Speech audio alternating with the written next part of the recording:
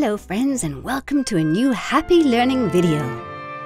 Today we're going to talk about one of the most famous of all the fish in the ocean, the one who scares us the most. Presenting the shark.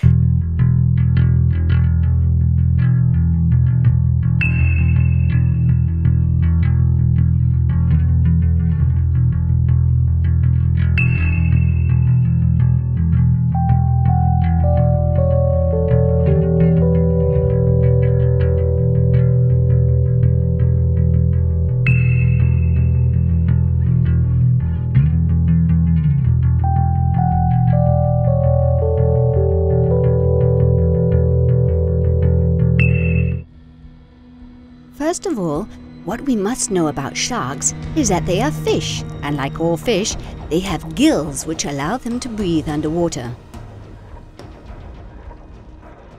The fish's body is covered by scales, and in the case of the shark, the scales are so hard and rough that a long time ago the shark's skin was used as sandpaper.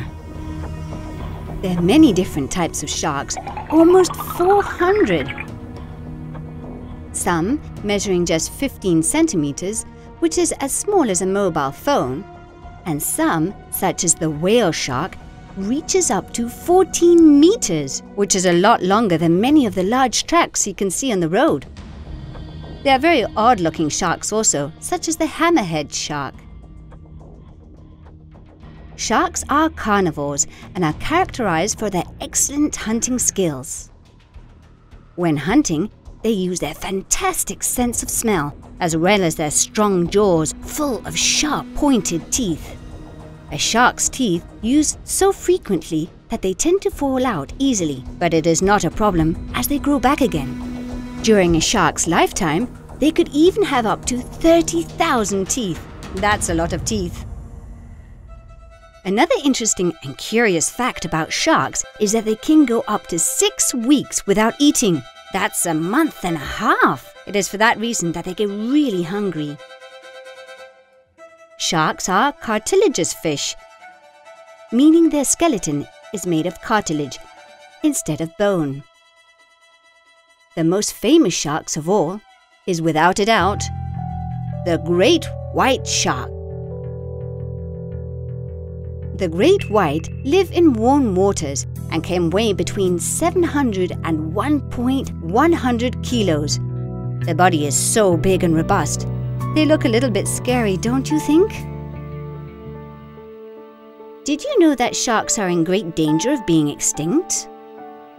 There are many different types of sharks which are about to disappear and it is causing the whole ocean to be at risk. The oceans and seas are healthy and they need to have enough sharks to ensure the balance between the various different species.